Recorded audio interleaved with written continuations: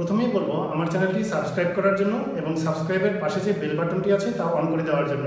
এর ফলে আমি যে ভিডিওগুলো আপলোড করব তা সবার প্রথমে নোটিফিকেশন আকারে পেয়ে যাবে। আর বলব, ভিডিওতে একটি লাইক দেওয়ার জন্য এবং শেয়ার করার জন্য। এখন আমরা শিখব ষোলো নম্বর প্রশ্নের সমাধান।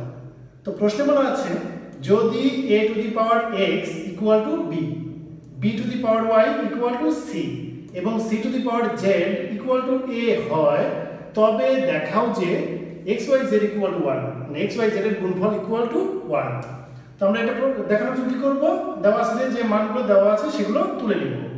তাহলে প্রথমেই লিখব, দেওয়া আছে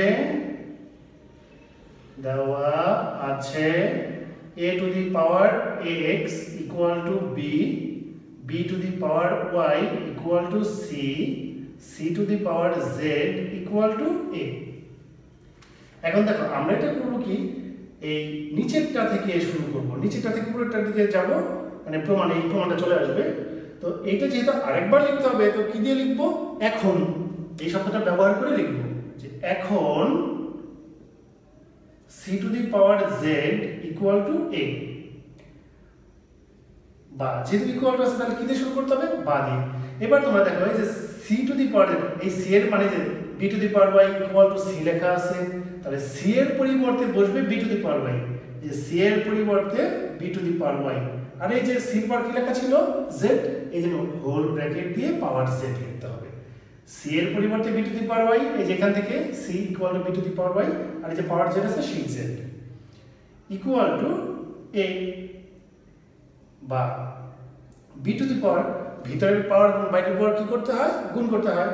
ওয়াই এবং জেড গুণ করলে হবে Y Z equal to A এখন আবার দেখো, এই b এর মান, b সমান কি লেখা আছে? A to the power X বা b এর পরিবর্তে হবে A to the power X whole to the power Y Z equal to A তাহলে b এর পরিবর্তে বসালাম এ টু দি পাওয়ার এক্স এখন দেখো, আবার ভিতরে পাওয়ার বাইরের পাওয়ার কি করতে হবে? গুণ করতে হবে।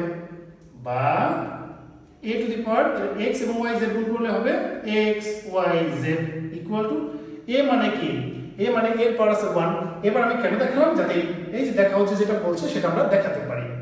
a টু দি পাওয়ার 1 এখন উভয় পক্ষ থেকে একটা সূত্র ছিল লাস্টের দিকে আমরা আগের অঙ্কগুলোর মধ্যে কিন্তু সূত্রটা দেখানো হয়েছে।